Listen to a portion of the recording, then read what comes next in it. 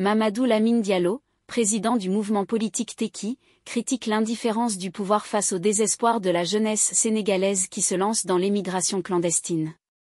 Selon lui, ceux qui prennent les pirogues pour rejoindre l'Europe se sentent persécutés et estiment qu'ils ne peuvent plus vivre dans leur propre pays.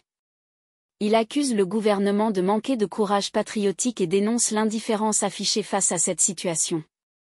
Mamadou Lamine Diallo prend également la défense de l'opposant Ousmane Sonko, affirmant que les accusations portées contre lui relèvent de tentatives visant à le discréditer.